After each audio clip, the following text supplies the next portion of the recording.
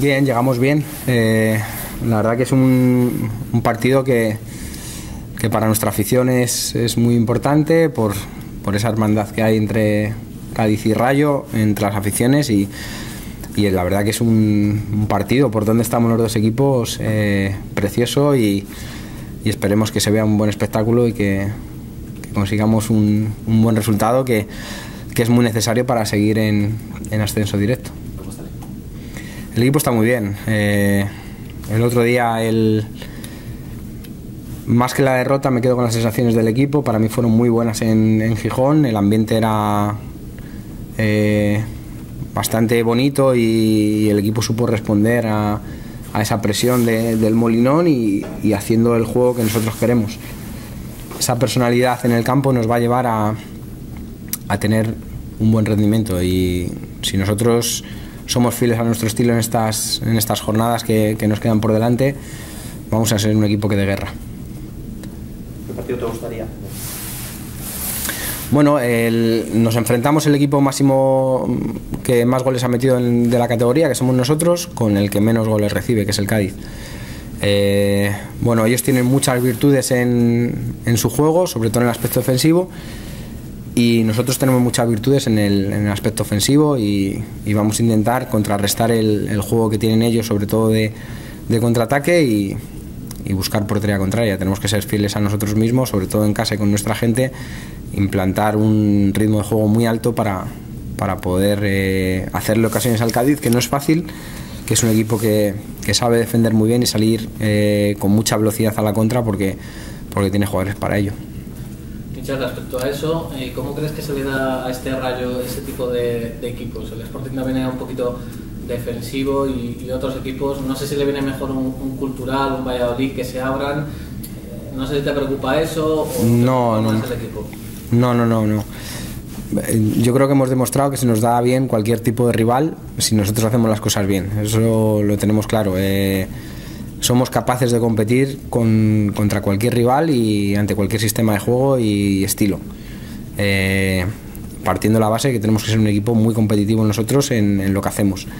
Y eso es lo que tenemos que intentar mañana. Eh, ser dominadores del juego, eh, tener un ritmo muy alto y, ser capaces de, de minimizar las contras que pueda hacer el Cádiz o, el juego que ellos tengan en, en, en, Vallecas y, eso es lo que vamos a intentar mañana. Pero bueno, eh, más que fijarme en el estilo del rival, me fijo en lo que podemos hacer nosotros y, y, si somos fieles a nosotros mismos y hacemos un buen partido, tenemos, tenemos opciones contra cualquier rival.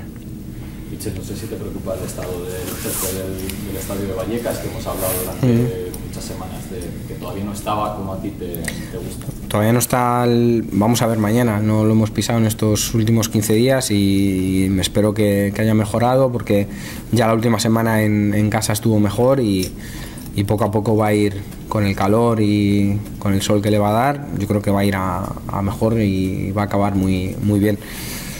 Espero que, que esté en buenas condiciones mañana para, para poder desarrollar, para que se vea un buen espectáculo y que se vea un buen fútbol.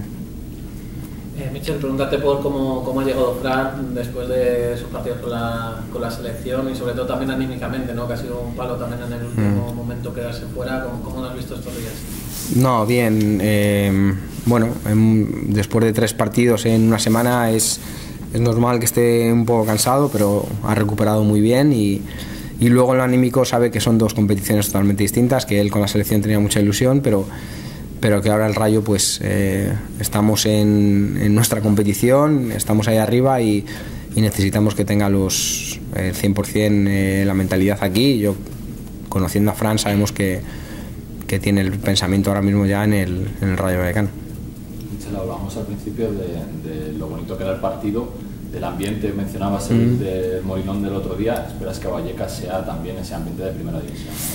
Necesitamos más que nunca a nuestra gente, necesitamos más que nunca eh, a nuestra afición. Eh, ellos saben de la importancia de cuando el ambiente de Vallecas es, es fuerte y a favor del equipo, los jugadores lo notan muchísimo y los necesitamos más que nunca. Eh, en, estas, en estas jornadas que quedan en, casa, eh, Vallecas se tiene que convertir en, en lo que ha sido siempre. Eh, una caldera volcada con su equipo y, y es que no tiene que ser de otra forma. Yo sé que a la afición nunca le tenemos que pedir nada porque siempre han estado a la altura y, dando lo que por encima de, lo que el equipo pide y, espero que siga siendo así. Necesitamos a nuestra gente más que nunca para conseguir un objetivo muy ambicioso, muy bonito, pero que tiene muchísima dificultad. Eh, Michel, no sé, te, te, iba a preguntar un poco sobre los rumores ¿no? que empiezan a comenzar, sobre todo por la buena temporada que están haciendo jugadores como Alex Moreno, jugadores como Raúl de Tomás, que se empieza a hablar de su futuro. Eh, no sé si eso te, preocupa que les pueda distraer o, lo que decías tú con la mente 100% en el equipo. Mm, bueno, yo creo que mm, a ver que hablen bien de uno es importante, pero lo más importante es lo que hagas en el terreno de juego y eso es lo que te lleva a, ser capaz de tener pues eh, ofertas o de que la gente se fije en ti. Eh, espero el mejor rendimiento de todos en la plantilla porque porque nos estamos jugando mucho, es muy necesario que tengamos los pies en el suelo, que sepamos que lo que nos ha llevado aquí es la humildad y el trabajo y, en eso no podemos, no podemos fallar. Eh, cualquier jugador que se distraiga un pelín sabe que en la bajada de rendimiento se va a notar muchísimo y necesitamos a todo el mundo muy enchufado. No tengo, no tengo dudas de que así va a ser porque es lo que me han demostrado hasta ahora y es un equipo que, que tiene la suficiente madurez como para bueno, que todos estos elogios o halagos los dejen pasar porque lo importante es lo que hagas en el terreno de juego. Especial aquí en Vallecas, jugar juvenil, partido importantísimo para, para ganar la liga. Supongo que también muy pendiente de ellos, tanto del juvenil como del filial, que también está peleando por el eh, gracias a Dios tenemos una gran cantera y, y grandes entrenadores dentro de ella. Eh, Luis está haciendo una temporada excepcional, ojalá se meta en playoff. Eh, pero sobre todo la formación del jugador ahí está y lo estamos consiguiendo. Eh, Ángel Don Gil lleva toda la vida en el rayo, un rayista de, pro, feliz por él porque él es la persona que mejor forma al jugador aquí y, encima está consiguiendo grandes resultados y mañana es un partido especial para ellos, muy bonitos.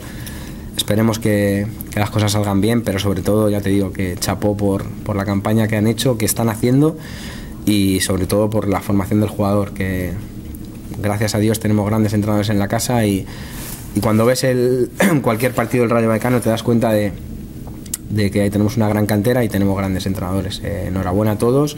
Están jugando otros torneos por ahí eh, los pequeños y, vemos que siempre compiten de la mejor manera y, bajo nuestras, eh, nuestro estilo, nuestra forma de, de desarrollar el juego y, y bueno, muy contento por todos ellos. También, eh, Michel, eh, hemos eh, conocido también tu situación, que aún sigues eh, pensar un poquito de, tu futuro en ese caso. No sé si eso te, preocupa un poco o no, no, seguridad en ese sentido. No me preocupa nada y a día de hoy tengo la mente puesta en el, en el Cádiz y, y poco más. la verdad que no me preocupa nada.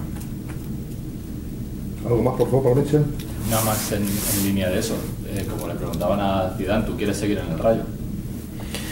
Bueno, pero las, las circunstancias son las que son y, bueno, a día de hoy eh, lo que tengo que hacer es seguir trabajando aquí, seguir mejorando eh, individual y sobre todo al equipo para, para conseguir los mejores resultados y eso pasa por, por tener la cabeza 100% en, en el día a día.